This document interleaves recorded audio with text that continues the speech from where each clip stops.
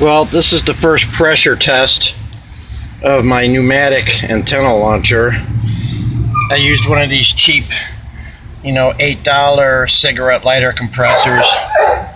I have, uh, I don't know if you can see, I got it loaded up to 20 pounds of air. I'm just going to let it sit like that for a little bit. And, uh, yes, I got safety goggles on, or let's do it that way. Safety, boys and girls just in case this thing, you know, decides to explode on me. It shouldn't. The stuff's, well, the PVC here is rated to 280 pounds. That valve's only rated to 150 psi. So, I don't know, I might take it up to like 30 or 40 just to see how well it holds after I let this out. I would have took a video of actually filling it. There's the, the Schrader valve, the fill valve.